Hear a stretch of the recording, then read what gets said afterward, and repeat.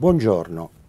L'infezione da Helicobacter pylori nello stomaco è una delle infezioni più diffuse in tutto il mondo. Si calcola che anche in Italia circa il 50% della popolazione ne sia affetto e nei paesi in via di sviluppo addirittura il 70, 80, 90% delle persone è colpita da questa infezione a livello dello stomaco. L'Helicobacter pylori è un batterio che al contrario di quanto si è ritenuto fino agli anni 70-80 riesce a vivere estremamente bene in un ambiente del, che si riteneva del tutto sfavorevole alla crescita dei batteri, cioè l'ambiente gastrico che è un ambiente acido, quindi è assolutamente poco ospitale alla crescita di batteri.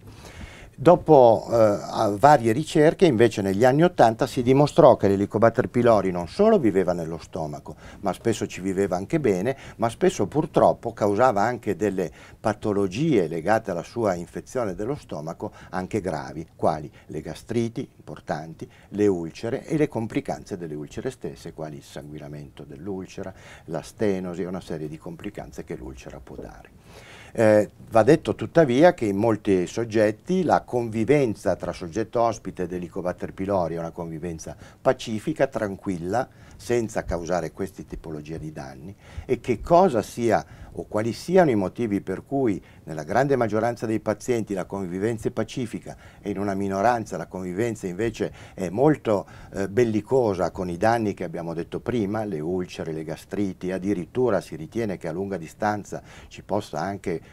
comparire come complicanza terminale un cancro, un carcinoma dello stomaco, non è conosciuto ad oggi. Ci sono evidentemente delle differenze nei tipi di ceppi di batterio o nei tipi di reazione dell'ospite che possono, eh, diciamo così, eh, differenziare questo tipo di risposta. I sintomi tipici dell'infezione sono quelli della gastrite, un dolore epigastrico, eh, dell'ulcera, eh, eh, eh, dopo mangiato, a stomaco vuoto, in maniera abbastanza variabile, dipendente da soggetto a soggetto.